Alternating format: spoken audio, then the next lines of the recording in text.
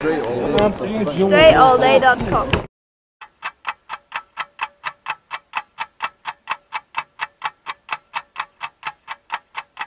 What's up, everybody? Dre Baldwin DreAllDay.com is about 5:30 p.m. Eastern, Friday, February 28th. So, if you posted a question on Q&A number seven after that time, I did not get to it. You need to post it to the Q&A comments of this video. And as usual, as we do here, I'm reading all these questions for the first time. I'm gonna go through and answer everybody's question. If you ask me something I have already covered, either in video or on my website or in a previous Q&A, I will let you know. Uh, you ask a whack question, it will be omitted. And let's get right into it. First question is Hamza Sajid. Who is my favorite rapper? If you go to my website, Hamza, you go to the About section, click on Favorites. I cover a bunch of my favorites and a bunch of things. But to answer your question, my favorite rapper is 50 Cent. Sadie Sal one says, Do I ever get tired mentally? Yeah, every single day. That's the time when I go to bed, go to sleep, wake up the next day, and I got a new batch of mental energy. So we all get tired. King Homer says, Hey Dre, an idea for your merchandise can be a product. It will look cool with the WOYG logo printed on it. That's for last week. I asked everyone if they had any ideas for merchandise, what they'd be interested in. So he's giving me an idea for merchandise. So thank you, King Homer, and anyone else who sends in an idea for merchandise. I am taking note of all this. Probably by the summer, we want to have everything out. Uh, you'll see stuff slowly trickle in on the merchandise website, which is WOYG, stands for Work on Your Game dot net. Iconic 49 says, What motivates you to work on your game? Why do it? Is it fun or do you have to in some way? Uh, of course, it's fun. I mean, it's basketball, it's a game. It should be fun for everybody. If basketball is not fun for you, you shouldn't be playing it. So, yes, it's definitely fun. And that's one thing that definitely gets me wanting to work on my game. Dr. Chris 100 says, Do I follow Shift Team uh, 10,000 hours?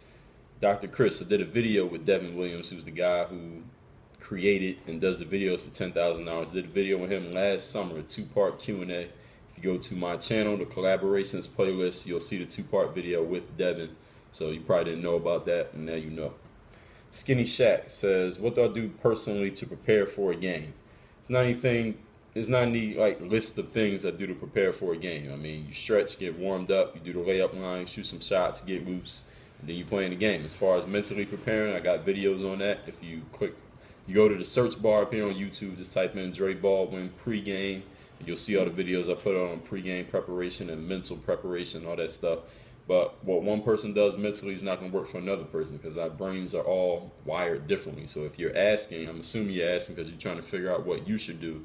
You got to find out what works for you. That's part of the work of your game. It's not just physical; it's also mental. You need to put just as much work, much work into that as you put into your physical side. Uh, Jace Shilcutt says, "What's the best NBA signature workout program for creating plays on offense and finishing at the rim?" Well, all of them. He's asking about the signature workouts available at hoophandbook.com. All of them are all of them are about creating plays and finishing at the basket. I think the best way you can figure out which program to start with, if you because there are a bunch to choose from, is decide which player whose game you want to game and skills you want to uh, simulate the most. So you can't go wrong with any of them. It's not like anyone's the best, anyone's the worst. So just pick one and see how it goes for you. Let me know what your results were. Santrell Mills says, if I was in the NBA D League, do I think I average 20 or more points per game? Well, it's hard to say. I would have to actually be on the team and playing to answer that question. Me personally, for those of you who can't tell, I'm not really into the predictive stuff saying if this happened, I would do this and I would do that. I'm more about the reality of it. If something really does happen, we'll look at what did happen, what the actual reality of the situation instead of people talking about what they going to do or what they would do. That's not really me. The Affiliates Project says, What is my favorite food that is not so good for me? Uh, I would say uh, fried chicken I like, cheesecake, uh, pound cake, cupcakes, cake, cake, cake, cake, cake. B Soprano 2123 says, Age ever a factor in the team selection of a player when you look at teams such as in the D League, overseas, etc., since the game is getting younger. Basically, if a player has game, are they ever too old to make it? Well, the first thing, B Soprano, of course, age is a factor. Of course, if a team get chooses a player, they're making an investment in that player that maybe that player can grow with them. So if a player is 21, the player is 31 with the exact same skill set, they probably go with the 21 year old guy because that player still has room for improvement and they got a lot of years ahead of them. They probably have more years ahead of them than the 31 year old guy would have. As far as you saying the game getting younger, that's not necessarily true. The game has always been the same. Me, that analogy I just gave you has always existed ever since basketball was first created. So this is not a new thing that a younger player would be more two equal players. A younger guy is better for the team than the older guy. That's always been existed damn near in every sport. Yeah, every sport. I mean, sports, professional sports is a young man's game. Most athletes, by the time they're 40, you pretty much retire. You out of the game because the body just can't do it anymore. So that's not a new thing. As far as him saying if a player has game are they ever too old to make it, well, you had to ask that individual player. There's no, that's not a factual thing. That's more of an opinion. Saying a player is too old is a person's opinion, whether that be their opinion of themselves or somebody else's opinion of them but it's not a factual thing. That's a matter of how that person feels. Like if somebody says I'm too old to play ball no more, then they are. And if somebody their exact same age says I'm not too old, then they're not. So it's all up to that individual whether they're too old, too young, too good, not good enough, too skinny, too tall, too fat, too short, whatever you want to say. Vladimir One says you've been on YouTube for seven years. What part of your game do you feel has greatly improved over that time? Is it a skill you intended to improve? Well, Vladimir, I intend to improve every skill. So I think all my skills have improved. The only thing I would say probably hasn't gone up would probably be like athleticism, because as you get older, when you're in your mid 20s, it's probably at its peak and it stays there. And as you get older, it I can still do pretty much everything I can I could do before, but it's harder to maintain it. You got to do more work to maintain it and stay in that physical shape. And then of course, as the 30s go on, the athleticism diminishes, but everything else pretty much is good. You probably can gain more strength as you get older because your body gets your bones get denser. You can hold, it can carry more weight. Uh, other skills, I'd say probably uh, jump shooting has improved, ball handling has improved. My mental IQ, my basketball IQ, my feel for the game, passing skills, all that has improved over the years, just from playing a lot and practicing a lot on my own. The Got Games. Has he ever dunked on an NBA player? And it, do I remember who it was? I don't recall dunking on any NBA players. Mr. Cable says, Dre, I'm 18. I have chronic tendonitis, aka jumper's knee. Do you have any experience with this? Any suggestions about how to continue to train alongside it? Mr. Cable, uh, Jacob and I from the Jump Manual covered that. If you go to my website, it's dreallday.com slash jumpers knee. dreallday.com slash jumpers knee. Got something that'll handle that for you. Southern Hoops says, How can I get better at basketball without access to a basketball court? Some people try to study the game, quote unquote, for example. Well, Southern Hoops, if you already got an idea of what to do, why are you asking me a question? Uh, as far as getting better at basketball without access to a basketball court, I don't know nothing about that. If you want to be a basketball player and get better at basketball, you need to be on a basketball court. It's like playing, getting better at baseball without being on a baseball field. You need to be doing the thing to get better at it. Uh, how you going to get better at the internet without access to the internet? That doesn't make any sense. So you need to go find you a basketball court. So whatever excuse you got for not having one, you need to throw that out the window and go find one if you're serious. Buy World says a WOYG compression shirt for between 30 and 50 bucks. Thank you for that uh, input. We will note that. Thank you. Elijah Mitchell says, I need to know what it takes to play in the NBA or just be the best basketball player. I'm 17 and I'm thin. I don't know what thin means. But he wants to know what it takes to play in the NBA, just be the best basketball player. Well, first of all, you need to work on your fucking game. So practice a lot. Second of all, play a lot. Third of all, when you're playing, show that you're good. You want to be the best, that means you have to prove that you're better than everybody else. This means you got to play in games and prove it in the games. And to be able to prove it in the games, you got to practice on your own so that you actually have some skills to call on when you're playing in the game. So that's all you need to do. Santrell says I don't even understand this question. Marcus Narcisse says, I know I can shoot and dribble and all of that, but during games I freeze up. What can I do to change it? And what age do you stop growing? Well, if you're not performing as well in games as you do in practice, Marcus, then what you need to do is playing more games. Playing more games and get experience. There's no magic words, no magic trick, nothing I'm going to tell you that's all of a sudden going to make you start playing good in games if you've never played good in games. I've covered this on my website. You go to my website, which is dreallday.com, click on the link that says guides and tips. I actually have written about this in detail, how to perform better in games when you haven't been performing at the same level that you normally perform in practice or against your friends or by yourself. So I have covered that. Torres Hayes says, What do I think Oh, he also asks, what age do you stop growing? I mean, I don't have an exact number. There's not a, there's not a set number for every single person. All of us have different bodies. So it's not guaranteed that if your friends stop growing at 18, that you're going to stop growing at 18. You might grow till you're 22. So there is no set age. If you really want to know, you could probably Google that and get some more information, some professional information. And if you really want to know your answer for you personally, you probably, well, you definitely would need to see a doctor. That's the only person who can give you a direct, accurate answer, not anybody on YouTube. Taurus Hayes says, What I think is the key to getting the defender off balance? Is it quickness or what is it? Well, the thing about getting a defender off balance, Taurus, is that it's very simple. Very simple principle. You have to have your defender thinking you're going to do one thing and then you do a different thing. Simple as that. So if you got a defender backing up as if they think you might attack the basket and then you pull up and shoot, they're off balance because you're getting the shot off while they're on their heels. You got a defender thinking you're going to shoot while you're driving, they're leaning forward and you blow past them because they're leaning forward and you're going that way. You got a defender use a crossover, you get them thinking you're going to the right, but you actually go to the left, or left, then you go to the right. So as simple as that. So it's about deceiving the defender. It's not necessarily about tricking them. It's not necessarily about any particular move either. A lot of people ask me, what's the best move to get a defender off balance? That makes no sense whatsoever. Just think about it. If you and me playing one on one, and you do some great move and get me off balance, you cross me over, and I'm like 10 feet going in the other direction, and you score, the next time you try that exact same move, I'm probably going to be ready for it because I saw you do it already and you used it successfully against me. And maybe the next guy who guards you might have seen you do that move or know that you got a good crossover, so they'll be waiting on you to do the move. They might steal the ball from you. Or the next guy you play against might have played against a lot of guys in his career who have great crossovers. So when you do a crossover, he's ready for it because he's used to seeing people try crossovers against him. So it's not necessarily about any certain move. So you got to make sure you understand that. And the other thing about getting defenders off balance is, is also not about you don't have to trick a defender every single time. Like I can play somebody one on one and do the same. I can use two different moves and beat them in the game over and over again, just using two moves. It's not about me tricking them every single time. It's about executing. If you all all you watch the NBA, now you know that the NBA teams have a coach and then y'all see all them coaches sitting on the bench and all the coaches sitting behind them on the bench. They got a bunch of scouts too who are not even at the games. They're at other games scouting other teams. Every player in the NBA has been scouted. There's a scouting report on every single player in the NBA. What they like to do, what their tendencies are, where they're strong at, where they're weak at, where they shoot best at, what's the best way to quote unquote slow them down, what are the things that what are the things that they do best, where what do they like to shoot from, what moves they like to use, etc. etc.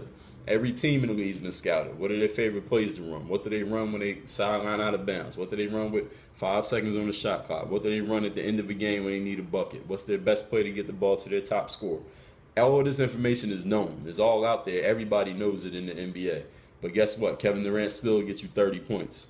Carmelo, Carmelo Anthony still can get you 25 to 30 points every game. LeBron too, and, and the Spurs still run their offense. They still do their pick and roll. Chris Paul still does does a screen and roll and gets the other point guard on his back. They still going to do the same things. Blake Griffin's still going to get his dunks.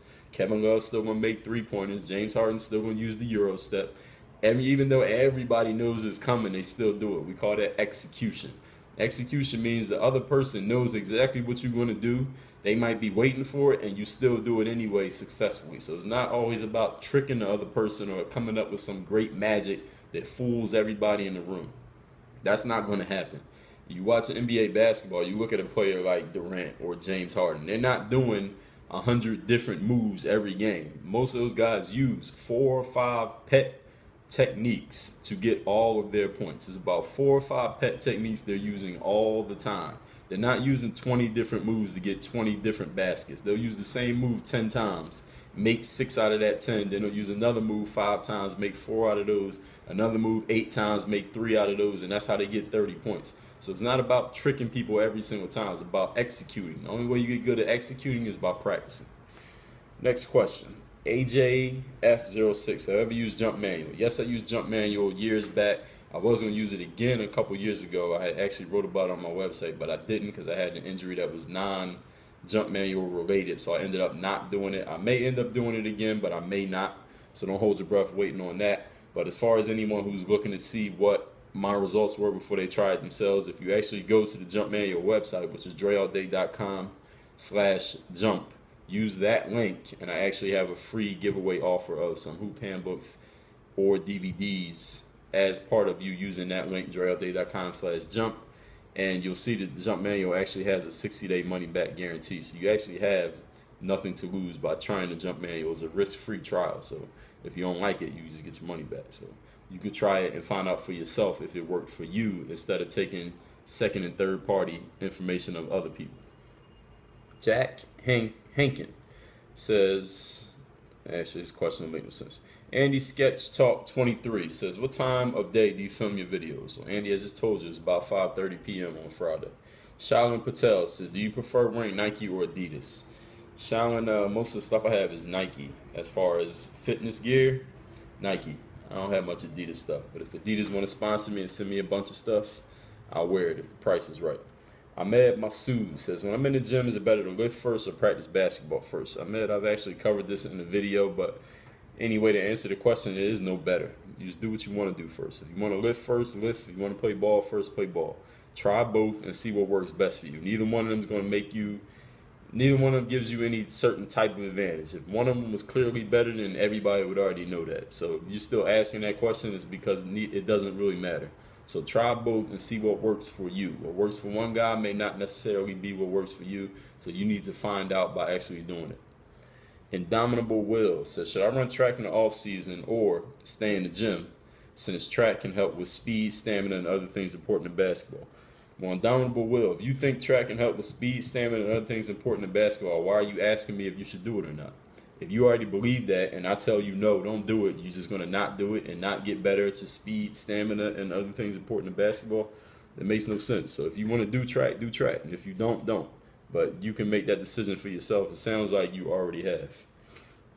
Jamal Atif says, Who do you hoop with on a consistent basis and does he push you to get better? I don't hoop with anybody on a consistent basis. I practice by myself. 90% of my practice is by myself. Do I push myself to get better? I think so. Gonzalo Saavedra says, How does somebody get in touch with you to play basketball? Because I live in Miami, you're one of the reasons I began to play this game. He's saying that because I live in Miami. Well, Gonzalo, uh, keep it real with you. I don't really play. I don't really. I'm not a guy who's like open and free to play basketball with anybody at any given moment. So, to get in touch with me to play basketball is probably not going to happen. Don't take it personal. It's nothing against you, but I don't just play basketball with any random person who says they want to play ball. Um, what else was I going to say about that? That's pretty much it. I mean, if you want to get trained, you can go to my website, dreallday.com slash training, and we can talk about training. But as far as us just playing together or working out or something like that, it's not something that I'm, I make myself available for. Jeezy Dogspin says, who am I thinking about doing a hoop handbook signature workouts on next? You'll see. When I got them ready to come out, of course, I put out a video and let y'all know. But until then, you got to wait. David Gray says, How do you become a good passer? By passing a lot. I mean, good is a matter of opinion. So you can call yourself a good passer. You can become a good passer right now by just believing that you are one. But if you want to get better at passing, you need to just pass. Play play basketball, put yourself in different situations, playing a lot of games against a lot of different people, and pass. It's the only way you're going to get better at it. Tristan Stevens says, if I could play against anybody in the NBA, who would it be? It wouldn't matter. If I was in the NBA on a team playing, I'd play against whoever the other team was. It wouldn't matter. The annoying Asian says, How do you mentally prepare yourself? How did you mentally prepare yourself growing up to have confidence in your jump shot during games? Only way you get confidence in something is by doing it over and over again. You're not going to get confidence from. You can help build confidence a little bit by thinking about it or reading about it or watching a video about it or looking at somebody else do it. But the way to build actual real confidence, lasting confidence is to actual actually do things.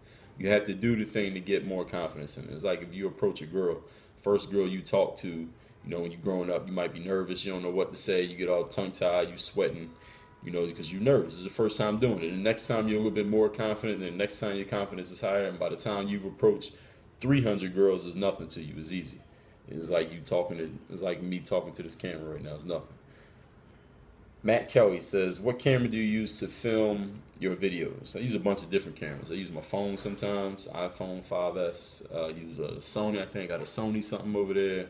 I've used the flip camera. Had a different Sony something. It's a couple other things. I don't even know the brands of these cameras. I just turn the camera on when the red light goes on. I go to work.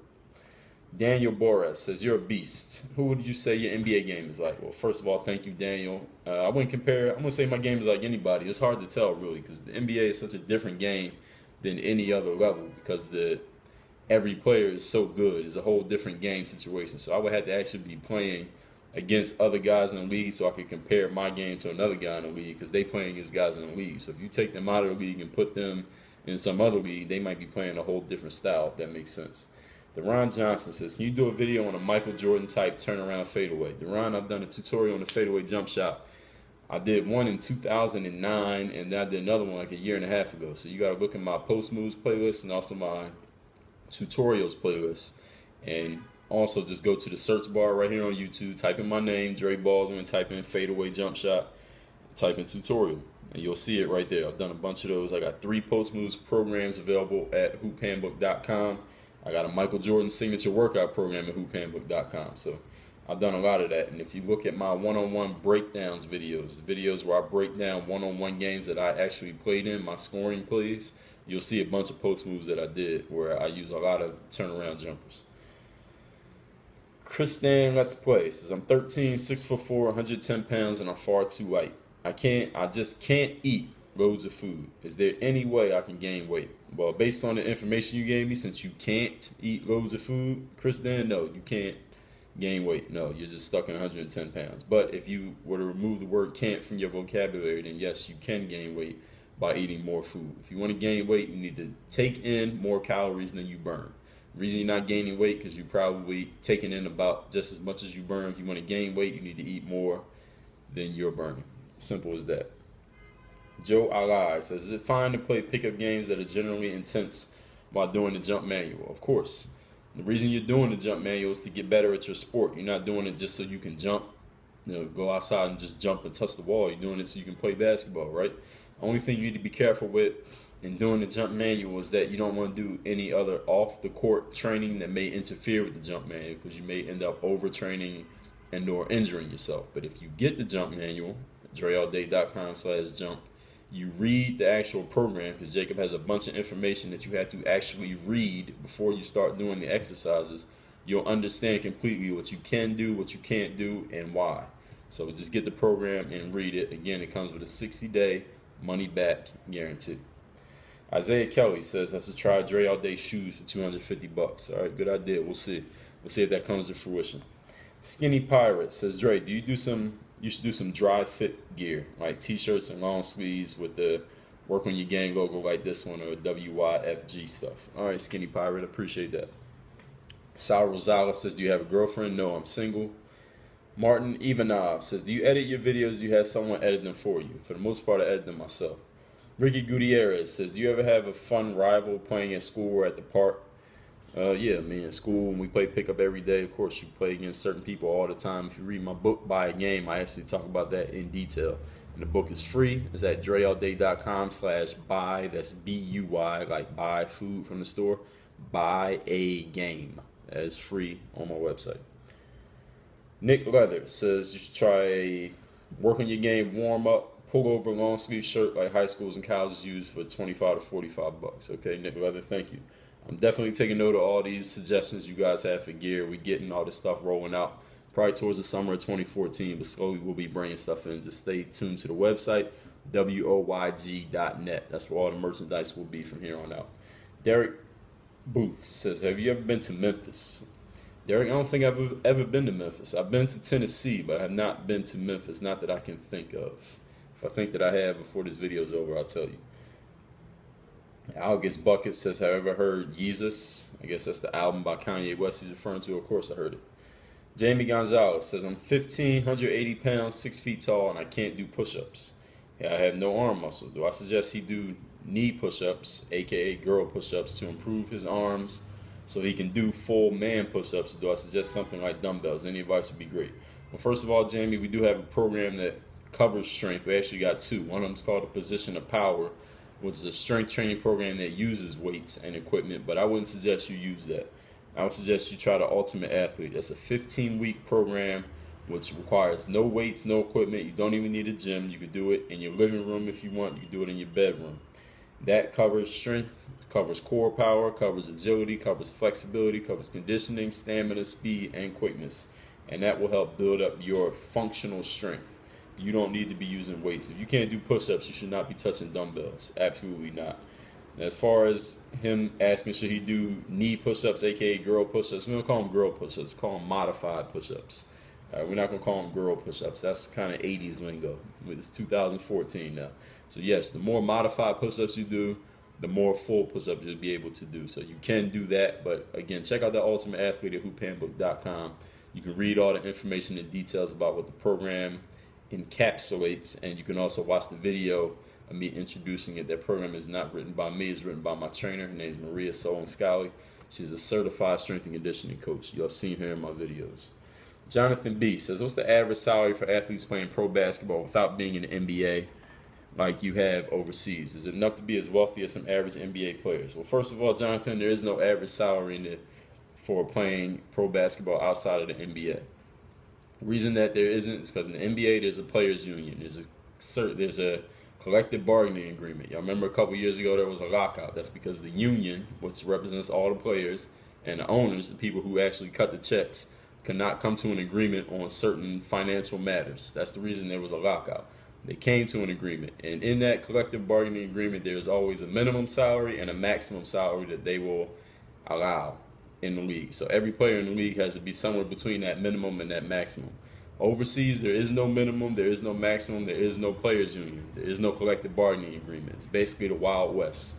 You get what you negotiate, and that's there is no, there's really no. Well, you can get a lawyer if you have some type of legal situation, but there is no collective bargaining agreement to fall back on. So there is no average salary at all. Whatever you negotiate is what you get, whether that be a million dollars or one dollar whatever you negotiate. And as far as he asks, is enough to be as wealthy as some average NBA players?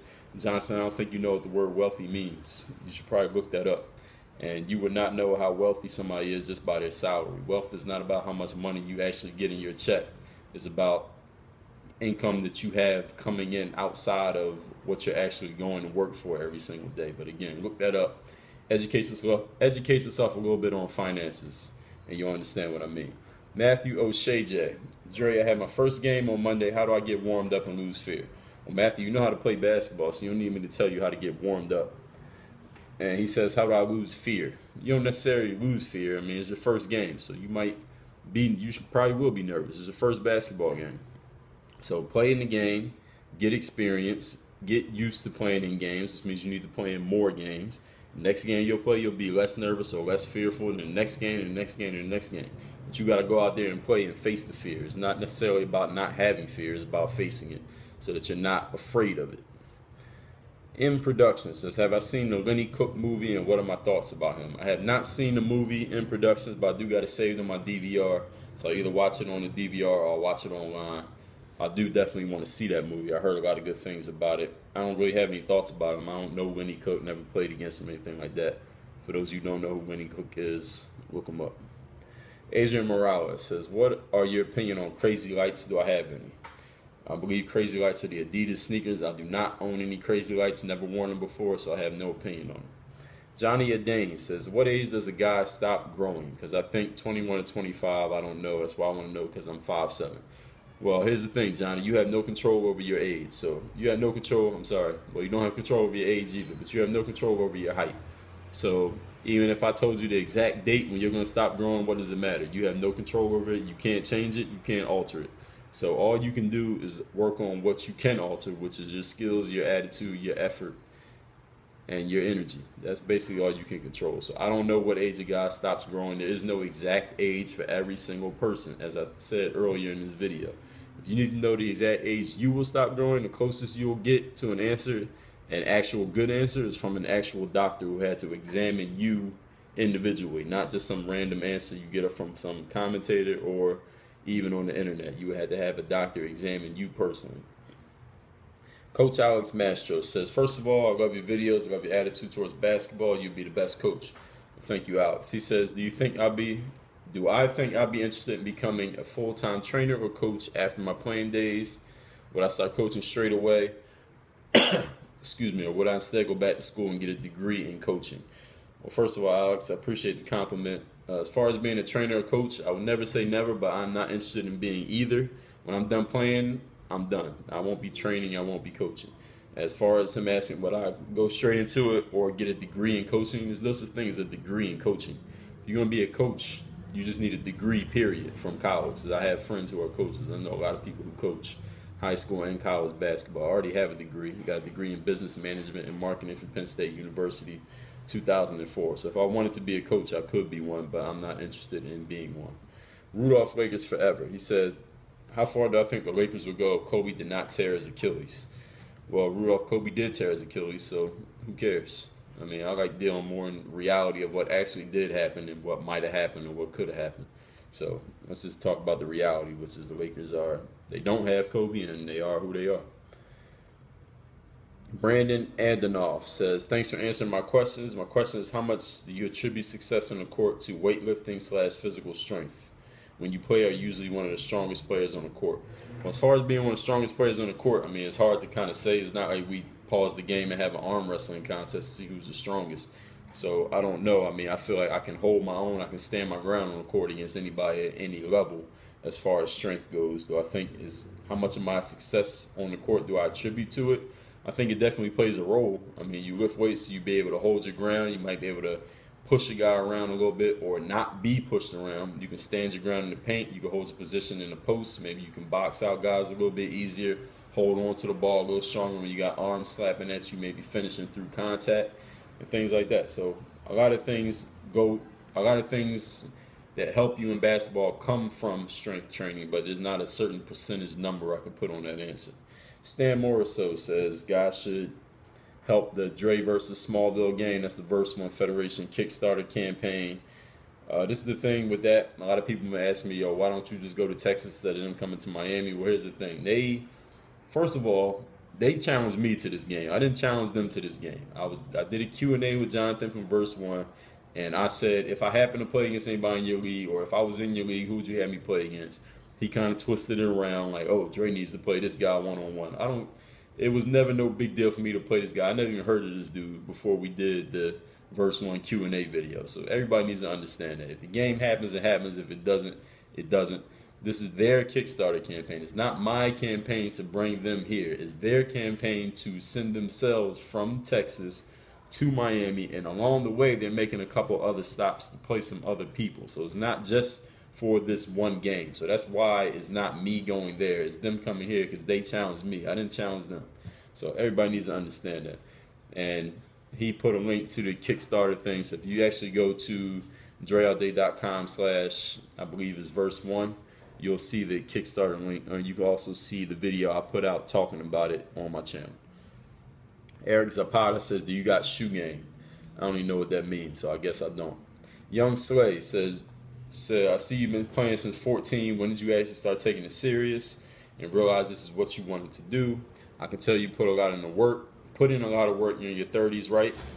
He asked him on my 30s. Yes, I'm 32 years old. He said, I don't understand how someone so good is not in the D League, pros, or overseas. What's the oldest age you know or heard about being drafted to the NBA? Well, first of all, young Slay, a lot of questions you're asking me are based on assumptions that are just incorrect.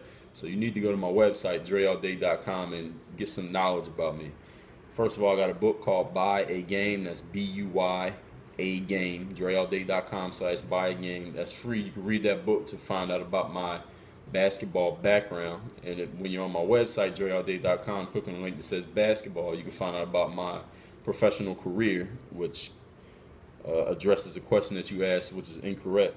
And yeah, that's about it. So, young Slay, just need to do some do some research on me, which is all on my website, so it won't be hard for you to do. Greg Mendoza says, "When do you normally ball now? Often, and how often did you practice when you first started?" Greg Mendoza, go to my book, dreallday.com slash buy a game, just like I told the previous person, and you can read about it. Aaron O'Sullivan says, You make it to the NBA. What are your goals? Do you want to win any awards? Well, if I make it to the NBA, we'll go from there. We'll see what the situation is, and then I can base what I would want to do based on the reality of the situation. So we'll see. Guy Lee says, being five six and without a crazy vertical like Nate Robinson, how can I survive on the court? Is long range three point shooting the only way to go? Well, Guy Lee, first of all, Nate Robinson has a crazy vertical, but it's not like Nate Robinson's out there swatting shots left and right and dunking on guys every night. Nate Robinson dunks maybe four or five times a year and is like the play of the night on Sports Center. So people think just because he got those dunks, like that's what he does every game. No. Nate Robinson dunks like fewer than 10 times in 82 games a season. So it's not like he's just jumping all over the place. A lot of people talk about that. It doesn't make any sense. Nate Robinson's skill in the NBA, the reason Nate Robinson's in the NBA is not because he can dunk. Okay, he's not jumping over nobody. He's not dunking on anybody. He'll get his breakaway dunks and as a highlight because he's so small and it's like, wow, look at the little guy dunk. Nate Robinson's a ball handler. He plays good defense. He can shoot. He can run the pick and roll. He can score. That's why he's in the NBA. It has nothing to do with being able to jump. Of course, those things that I just mentioned, the fact that he's athletic play a role in his ability to do those things, but it's not the actual dunks that have him in the NBA. So people really need to understand that. So the fact that you're five six, the skills you can use to be good at basketball, just like I said, ball handling, defending, leadership, taking care of the ball as far as ball handling. Outside shooting is definitely being able to run an offense, passing the ball. Those are the things you need to be able to do. Kevon Wesley says, How do I find my shot and play against hacks? You just do it. I mean, I play ball. You got to learn to finish through contact. I talked about this earlier, the question about strength training. Just being strong play a role. definitely plays a role. You just got to play through it. Get stronger. If you if you're complaining about the hacks, then that means the problem is you, it's not them. You need to play stronger, finish through contact, and not complain. Michael Rodriguez says, What's the best signature workout program at hoophandbook.com for post moves or finishing around the rim and shooting off the dribble? Well, all three of those things you asking, I mean all of them. all of them are covered in some way, shape, or form. As far as post moves, we got LeBron, you got D Wade, you got Kobe, MJ, T Mac, Blake Griffin, Tim Duncan finishing, all of them, all of them focus on finishing, of course. Off the dribble shooting, you got any of the guards. You got Kyrie Irving, you got Jamal Crawford, Damian Lillard, KD, Allen Iverson, Derrick Rose, Stephen Curry. All these all these programs cover off the dribble. Every player that I just named has a Hoop Handbook signature workout program based off their skills. If you go to hoophandbook.com, any of you can see those programs. And you click on the links, you can read the details of each program. Brandon Sella says, if I got a free Xbox One, would I play it? I don't know, Brandon. Send me one and we'll find out. Muhammad Hamza says, will I ever do a collab with Kick Genius on a performance test? Well, me and Kick Genius don't live in the same place, so I don't know how that would happen. Lil Mo 102 says, you mentioned you played against NBA players before. Who was the best NBA player you have played against? Well, first of all, Lil Mo, I covered, actually named every good, all the best players I ever played against. I've named them on my website. You go to the FAQ which stands for frequently asked questions. Because people ask me this all the time. I have covered that. The best player I ever played against, I'll name two. Anthony Parker was one. He used to play for the Cavs and the Raptors. He played overseas for a long time, was a superstar. And probably Joe Johnson. Dmitry Tukovic, also Chris Bosh is another guy. Serge Ibaka is another. James Harden is another. So there's a lot of people. So go to my website, read the fact. Dmitry Tukovic. So I started playing organized basketball last year. I'm 16, 6'2", and he's asking me, can he play professionally in a few years? Because a lot of people told him he started too late. All right, well, first of all, can you play professional basketball in a few years? You don't need to be asking me that. You need to ask yourself that. I do not determine whether or not you can play professional basketball in a few years. You determine that. You need to ask yourself, can I play? If I say no, you can't, what does that mean? Are you going to quit basketball because somebody told you that you can't?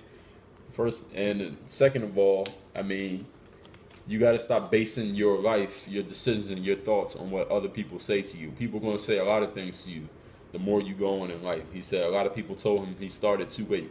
So if you believe that, then that means you should stop playing basketball right now, right? So do you believe it or do you not?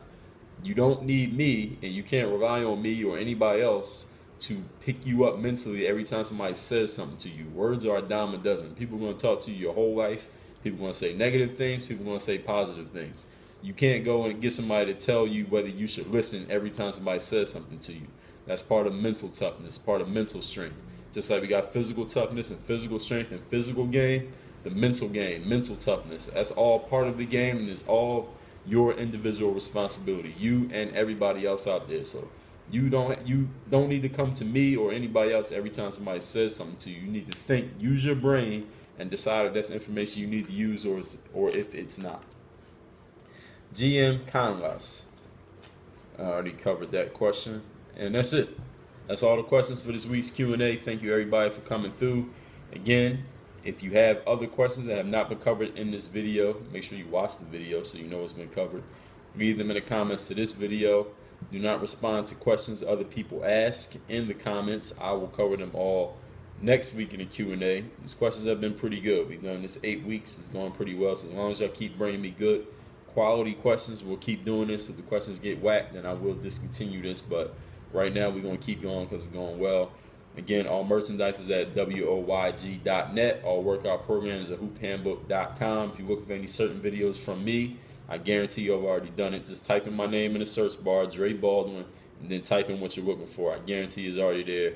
Otherwise, you go to my channel, click on the playlist, and I got everything organized. Off the court stuff, on the court stuff, different segments of moves, drills, one on one games, five on five games, pro games Anything you want to know about me in detail or any questions I don't cover in video, that's all covered at dreallday.com.